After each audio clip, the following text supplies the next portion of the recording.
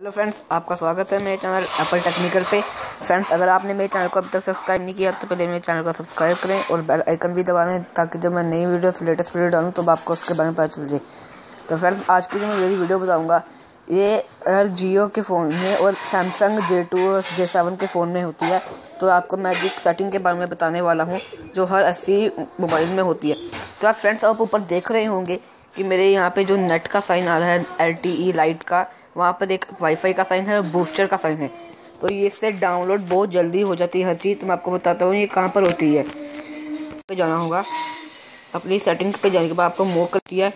इस पर आकर आपको यहाँ पे नीचे, यहाँ पे मिलेगा डाउनलोड मैंने ऑफ़ किया है।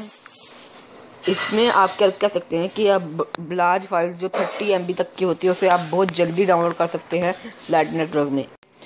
तो आप देखेंगे कि ये आप ऊपर ऐसे एक अजीब अगर आप कोई कोचिंग बता दूँ, इसमें आप वाईफाई और नेटवर्क दोनों को चला सकते हैं। इसमें आप वाईफाई भी चला सकते हैं और नेटवर्क को भी दोनों चला सकता है। तो तो दोस्तों, ये थी वो आज की ट्रिक अगर आपको वीडियो अच्छी लगी हो तो इसे लाइक करें सब्सक्राइब करें और यूट्यूब पर जाकर मेरे चैनल एप्पल टेक्निकल को प्लीज़ सब्सक्राइब करें। फ्रेंड्स आप मेरे चैनल को बिल्कुल सब्सक्राइब ही नहीं कर रहे हैं।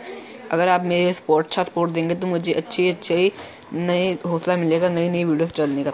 तो मैं ये वीडियो में यही एंड करता हूँ। फिर मिलूँगा आपसे एक नई वीडियो के साथ।